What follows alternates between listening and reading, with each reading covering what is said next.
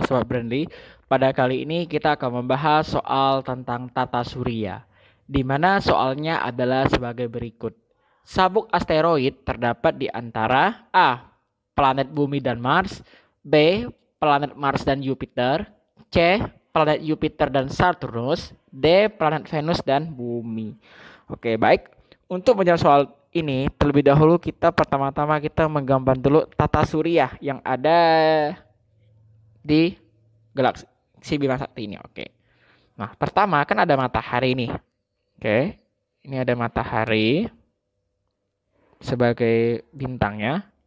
Ini saya singkat ya, matahari. Lalu di sini ada Merkurius. Lalu di sini ada Venus. Lalu di sini ada bumi. Lalu ini ada Mars.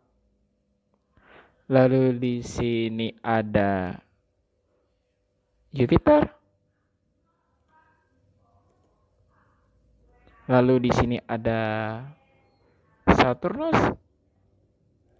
Lalu di bagian ini ada Uranus dan antara ada Neptunus. Nah, ternyata Sabuk asteroid itu berada di antara ini ya, di antara Mars dan Jupiter di bagian sini. Ah, ini di antara ini. Nah, tapi sebelum itu kita harus tahu terlebih dahulu apa sih asteroid. Nah, asteroid itu merupakan benda langit atau pecahan batu, langit dan sisa logam dengan ukuran beragam dan bentuknya tak beraturan. Itu adalah dari sisa pembentukan tata surya di masa lalu. Nah, sebagian dari asteroid itu terletak di antara planet Mars dan Jupiter. Nah, yang ini.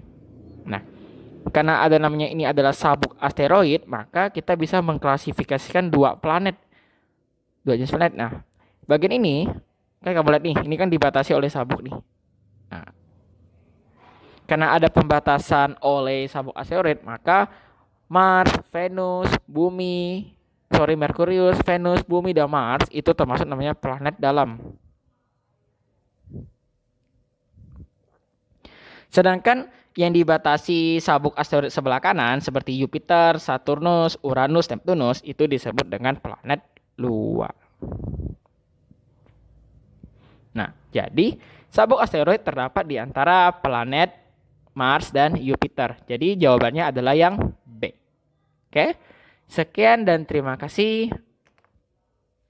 Tetap semangat dalam belajarnya. Selalu fokus. Semoga mudah dimengerti.